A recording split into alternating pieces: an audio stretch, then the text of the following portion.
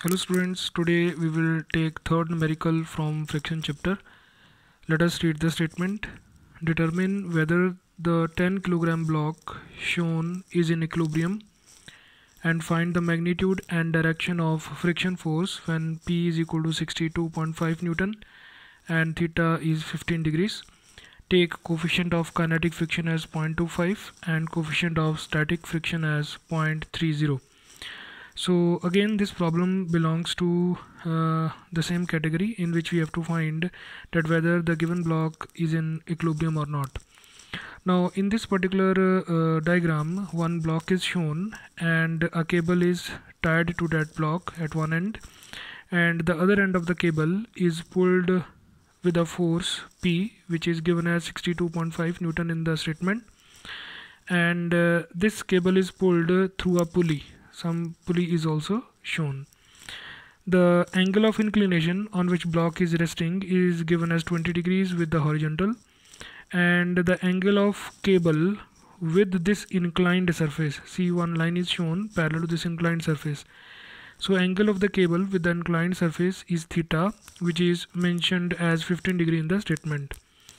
So we have to find whether this block is in equilibrium or not and in the second part we have to find the magnitude and direction of the friction force. So in order to solve this problem the very first step is that we should first draw its free body. So let us first understand what we have to consider in free body. You see over here only one block is given for which we are talking about. We are talking about the motion of this particular block so one cable is attached to this block and uh, this cable is pulled from this particular end and it is wrapped around the pulley as well. But if you will see this whole situation carefully you will find that this particular pulley is just given to create confusion. Actually when we will draw the free body we will consider this particular p here only in the cable. So when we will draw the free body there will be no role of this particular pulley. So let us draw the free body. So first of all we will draw the inclined surface. That is 20 degrees. Inclination given to us. So let us show that inclination first. With the horizontal this inclined surface has an inclination of 20 degrees given in the question then next we will show the block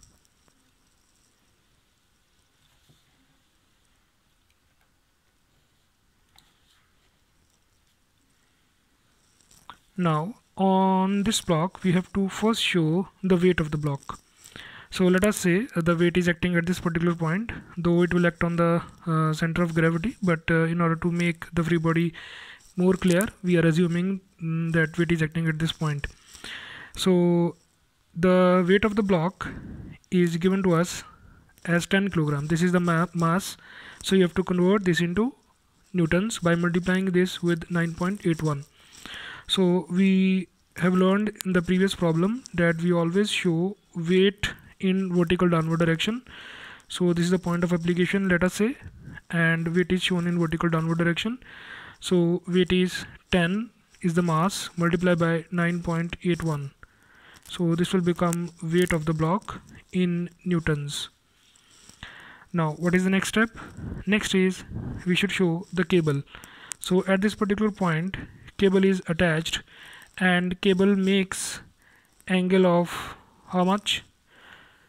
It theta which is given as 15 degrees. So at this particular point we have to show a line dash line parallel to the inclined surface. And on this cable we will show the pull this particular pull here. So p how much is the value of p given? 62.5 newtons. Now after this we should show the normal pressure. So we know that we show normal pressure always at 90 degrees to the surface. So this is the normal pressure. Now let us see is there any other force acting in the free body? Yes we have to talk about friction. In the previous uh, uh, question also in the previous video which was uh, uh related to equilibrium of the block only we uh, discussed that whenever we have to solve such problems we have to make one assumption regarding the block regarding the motion of the block in order to consider the direction of friction force. Now right now we don't know whether the block is moving in downward direction or it is moving in upward direction or the block is, is in equilibrium. We don't know anything at this point. So let us make assumption that block is moving in our direction so if we have assumed that block is moving in our direction it means we have to show friction force in downward direction in the free body tangential to the inclined surface. So we have assumed that block is moving in our direction. So we have shown friction in downward direction. So let me label this as F. Now we have labeled all the forces acting in this particular situation given to us but now we have to think about x-axis and y-axis. So let us extend this inclined surface. So as we discussed in the previous video also that along the inclined surface we will consider x-axis and perpendicular or normal to the inclined surface we will consider y-axis now let us observe these forces. Now you see normal pressure is acting along y-axis so it will have no component along x-axis. So we will not resolve this normal pressure. Now let us see frictional force. Frictional force is purely acting along x-axis so it has no component along y-axis so no need to resolve this force as well. But if you will talk about weight, weight is acting at some angle to x-axis and to y-axis. It means weight will have its two components. One will be along x-axis another will be along y-axis. So this is the point of application we have assumed for the weight. So at this point of application we have to show two components. The first component will be along y-axis.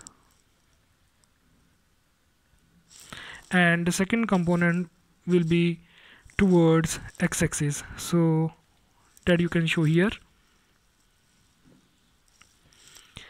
Now as arrowhead is pointing towards the point of application. So in these two components as well the arrowheads will be towards point of application.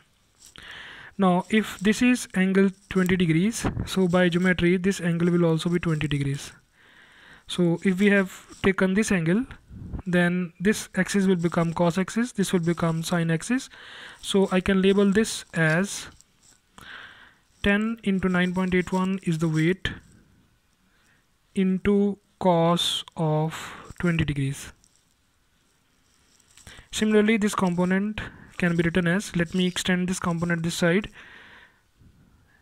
so that there should not be any confusion. So this component is extended this side. So I will write this as 10 into 9.81 is the weight into sine 20 degrees.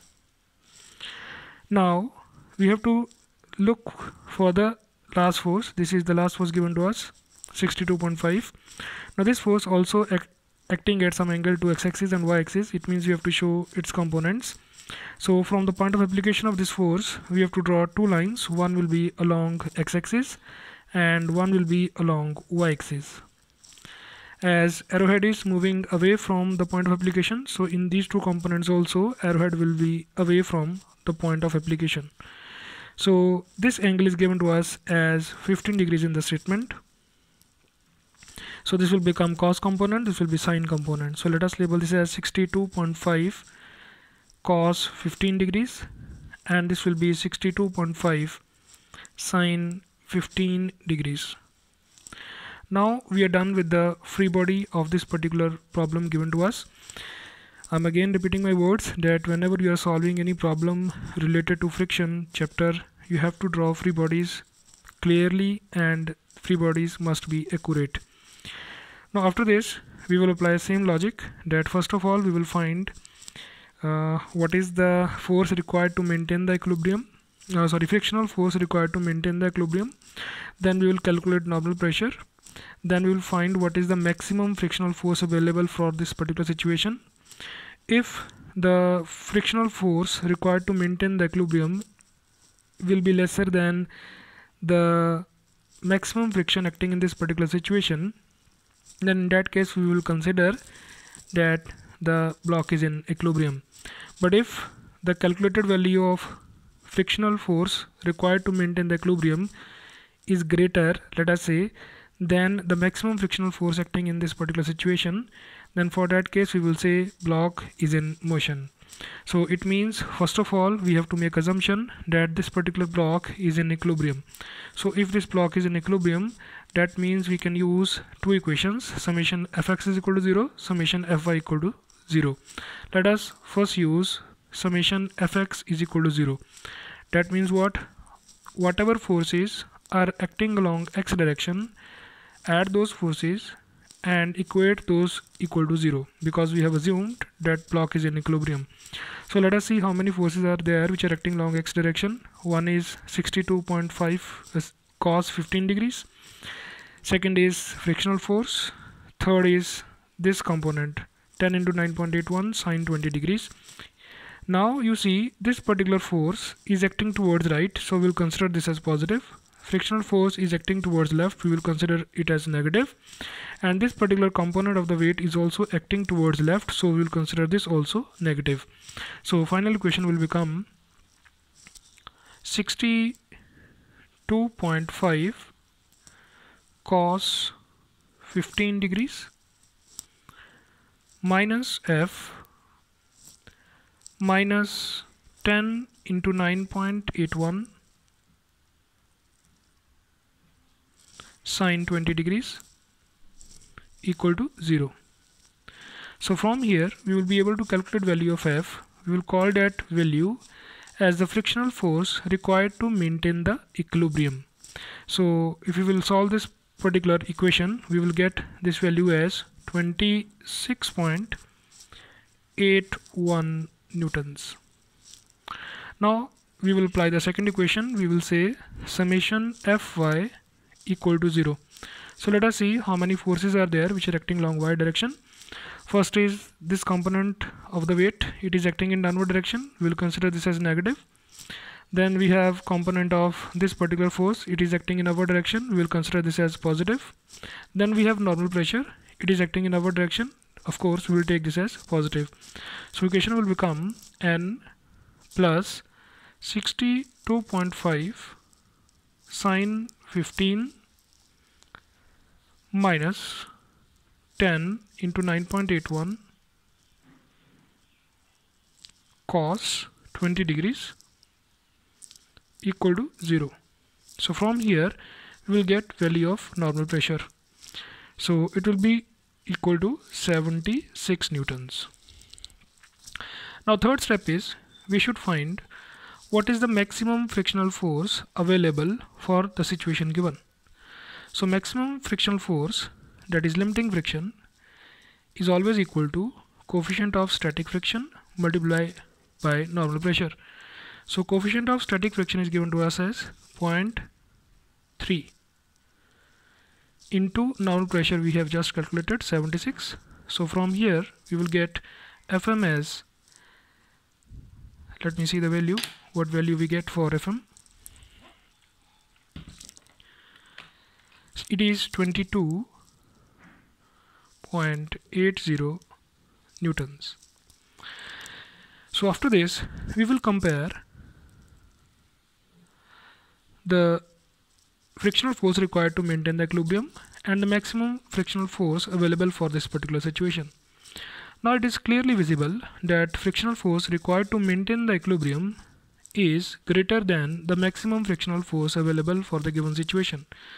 So we'll write F equilibrium is greater than F maximum friction available. So that means block is not in equilibrium. Block is not in equilibrium.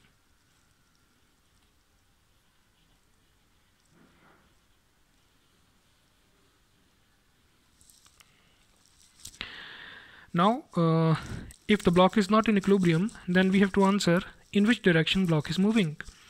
So that will depend upon the frictional force we have considered at the start. Now you see, very important point to understand, we have considered that frictional force, the at the start we have assumed that block is moving in upward direction and thus frictional force will act in downward direction. So after taking that assumption, when we calculated the value of frictional force required to maintain the equilibrium we got positive answer. So that means our assumption is correct. So it means we will say that block will move up the incline. So we will say block will move or we will say is moving up the incline so let me repeat it again. It is very important part to understand that at the start we have assumed that the block is moving in our direction. So thus we considered that frictional force will act in downward direction. But when we calculated the value of frictional force we got positive answer. That means our assumption was correct. Fine? So it means if friction force is acting in downward direction that means block is moving in upward direction. So we'll say block is moving up the incline. So this is the answer to the first part whether the block is in equilibrium or not. No block is not in the equilibrium. It is moving up the incline. Now what is the next step? He says find the magnitude and direction of the frictional force. Now very important point to understand. If the block is moving then frictional force will depend upon mu kn because block is in motion. So how much is mu k? Mu k is 0.25 0.25 what is the normal pressure? It is 76 so from here we will get value of frictional force or our second answer that is 19 Newton. Regarding its direction we will say it is acting in downward direction as the block is moving up the incline. So I hope this particular numerical is clear to you. Thank you very much